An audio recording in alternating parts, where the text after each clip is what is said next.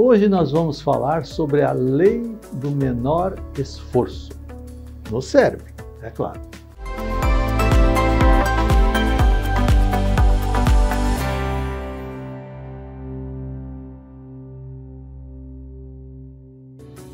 Olá pessoal, eu sou o Dr. Arnone Caldarte, médico, especialista em neurociência, e aqui nesse espaço nós vamos aprender juntos a ver como o cérebro funciona, para que a gente viva melhor no nosso trabalho e na nossa vida pessoal.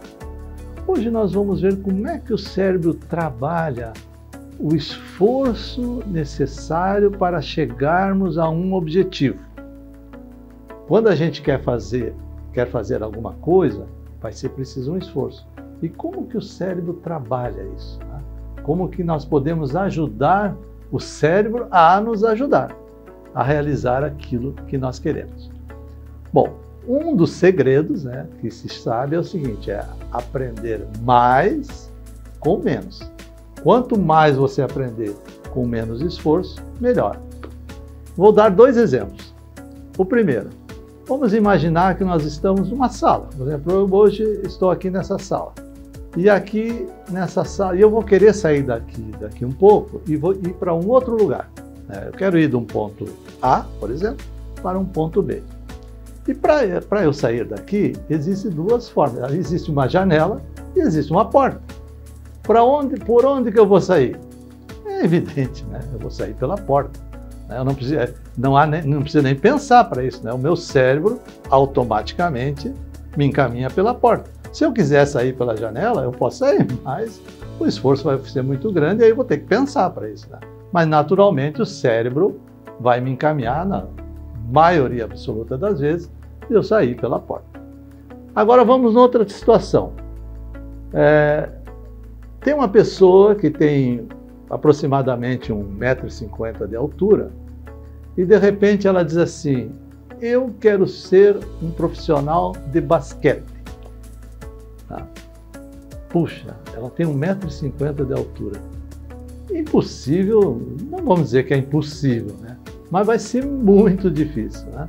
Imagine o esforço que essa pessoa vai ter que fazer, vai ter que impor ao seu cérebro para que ela consiga pensar que de repente possa ser um jogador de basquete.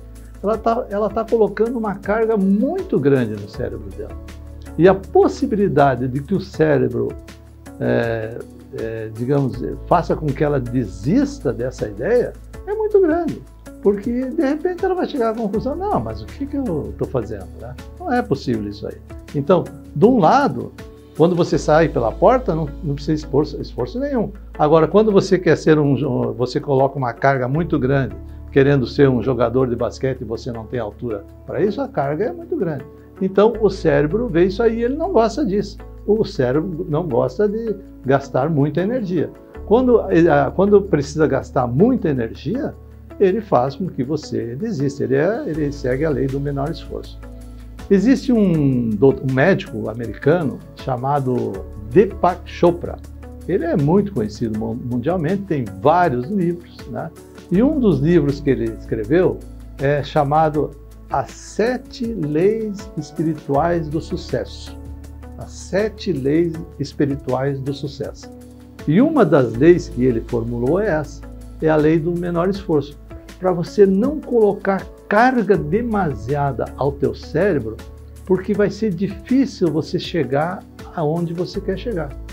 E quando, por exemplo, você tem um objetivo muito, muito alto, muito forte, que vai, vai, decidir, vai exigir que você é, tenha muita energia, a saída é você fatiar esse objetivo. Porque quando você fatia, você vai colocando cargas menores e a possibilidade do cérebro fazer você desistir é, é, é, é menor, né? Porque você vai colocando cargas menores para chegar no objetivo aquele que você quer. Então é o seguinte, essa lei do menor esforço, ela segue, ela faz como o rio, né? O, o rio segue o caminho mais fácil para chegar ao mar. E nós, para chegarmos aos nossos objetivos, o único cuidado que nós temos que ter é não colocar carga demasiada no cérebro. Porque se nós colocarmos carga demasiada, a possibilidade dele é, nos dissuadir e nós perdermos termos, tempo e não chegarmos a lugar nenhum é muito grande. Cargas menores é, é aquela, aquilo que eu disse no início. É, um dos segredos é fazer mais com menos, colocando cargas menores. Por hoje era isso. Obrigado e até mais.